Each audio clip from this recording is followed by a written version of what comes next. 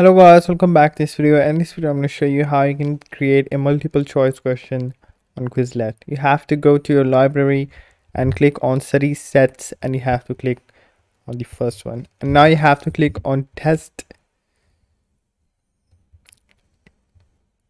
And now you have to click on options and you can select the question type. I'm going to select the multiple choice and click on create new test.